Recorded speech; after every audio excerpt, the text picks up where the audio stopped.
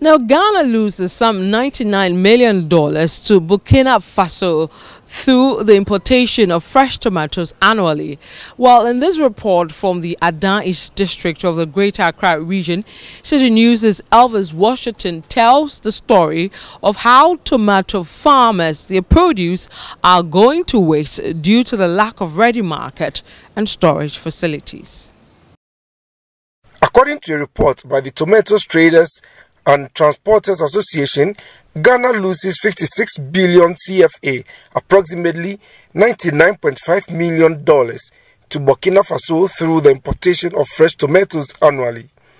The chairman of the association, Eric Osei-Tuffuor, says this is because Ghana alone imported 90% of fresh tomatoes produced in Burkina Faso. The remaining 10%, he said, is consumed between the country and La Cote d'Ivoire. Mr. Tuffuor says Burkinabe researchers had consciously calculated and worked it for the country to gain that amount or more within the six months production period in a year, which is the planting, harvesting, and marketing season of the commodity. Here in Ghana, farmers in the Ada East district cultivate only three months out of the 12 months in the year, despite having the potential of farming the commodity all year round with farmers mostly cultivating watermelon and vegetables in large quantities. Unfortunately, they are not able to farm all year round owing to several factors such as the lack of a reliable irrigation source, transportation challenges, and the unavailability of storage facilities coupled with unreliable and ready markets. Farmers in the district are deeply concerned about these challenges. We go spend about uh, 10 million, uh, uh, uh, thousand Ghana thousand Ghana for one acre before we go go do the farm but we don't get anything for top. So what do you want government to do for you? We dey beg the government say make it help make it help us for our road, secondary water. We don't get water too, so we are suffering for this town. Yeah, so anytime they will come here say we vote for them, we dey vote. We don't see anything. We don't get any benefit for the vote wey we dey dey vote for them.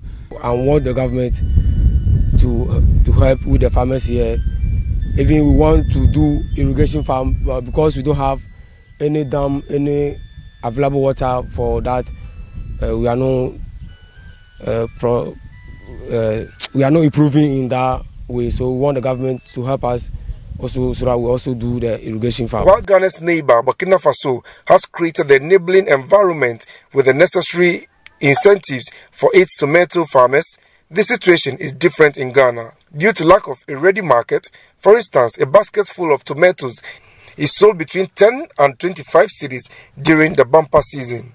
Because the tomatoes price is no good and as I am a farmer right now, before I send the tomatoes to market, there is no car moving.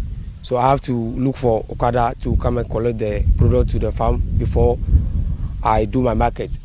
Before the Okada man take the uh, one bucket of the tomatoes to the market, they collect uh, seven cedis in one bucket. So if I sell the one bucket of the tomatoes 10 cedi, uh, Okada man is collecting seven cedis.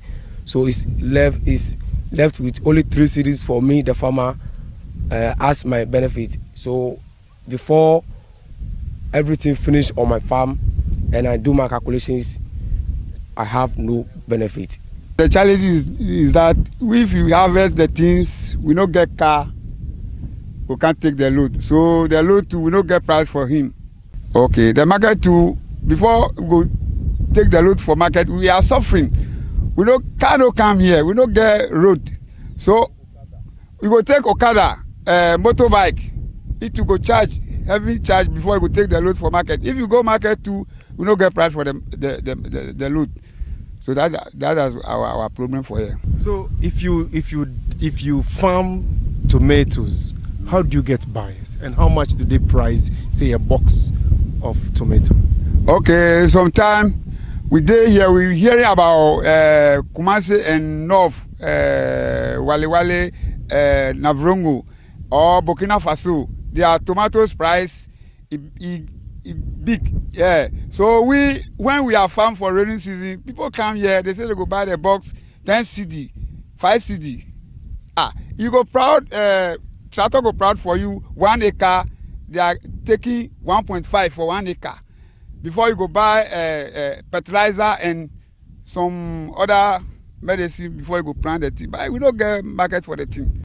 The farmers say they invest so much but derive very little or no profit. Yɛdua tomatoes. Yɛnya ayi. Yɛkɔfa sika free ayi. Bank yɛkɔfa loan. Isu ɛntɔ sɔitɔs no. Sɔitɔs nifɛ nanso ɛdɔ ni hu isu ɛntɔ. Ɛti yɛsrɛ mba ɛsɛ ɔmmoa yɛ. Na yɛbrɛ wɔ ha paa ɔmmoa yɛ. Aa sɛ ɔbrɛ yɛ seed ni ɔbrɛ yɛ seed ni bi wɔ ha yɛdua. Ɛho ɛnyɛ din. Wei sɛ dua ɔmo kɔtɔɔ no two point two but isu ntɔ ɛno anya papa deɛ ɔno nso de brɛ yɛn no so ɔmo brɛ yɛn no ɛyɛ mmerɛ na ayɛ pɛtɛɛ na abɔ yɛ ka. in my farming season like this one acre before i the time i start the uh, farming tractor plowing uh, chemicals use fertilizers use and uh, uh, the weeding all over the calculation is almost one thousand ghana cedis. And after all this if i harvest the things finish the calculations i do is not even up to uh, 500 ghana. So if i do the calculation and i i take out my uh, expenditure from uh, the main uh, account i'm not getting anything. It's more i'm losing Some say they are contemplating quitting farming because it is no longer lucrative, considering that they are even incurring debts. I make my mind that I will stop farming. But in Adan here, we only based on farm. So if I stop cry, nothing I can do. So I base on still I base on farm. Despite the existence of some social intervention programs by government to assist farmers, particularly in rural Ghana, the farmers here say they are not getting a fair share of the supposed assistance. They want government to provide them with a dam, a warehouse, and a factory to process their products to make agriculture in the area lucrative and profitable. we need the dam here yeah we want the dam here because uh, if we have the dam this irrigation uh, is very is very precious to us because when it reaches the time of uh, irrigation farm like this the product uh, the farm product their prices is very high. So when you sell the product at that time uh, you the farmer too you get benefit and you be happy and you continue the work. But because there is no dam for us and we are not doing the irrigation and we are all, only looking for this heavily this thing uh, we are not improving. So we want the government to do the one district one dam for us. Okay we yes we, we want it. One district one dam. Because we are suffering here yes so we dey beg the government say make e can help us. Then we get water for our products our farm. Uh, if you get water we go we go farm more. But we no get water so now me i dey plan say i go leave the farm. I no go farm again. Before if the government like say we still dey farm then we get things for help ghana. Make e give we one district one farm uh, one district one dam Large hectares of tomatoes are left to go waste in this district because these farmers have no storage facility or a factory to add value to the tomatoes produced in the area. Until successive government stop paying lip service to agriculture, these tomato farmers in the Ada East and its environs, together with others across the country, would continue to go through the cycle of farming to waste instead of farming to boost the economy. So farmers within the Ada East district are complaining of low market and are complaining of some storage facility to enable them farm all year round. For Citi News, my name is Elvis Washington, reporting from Ada.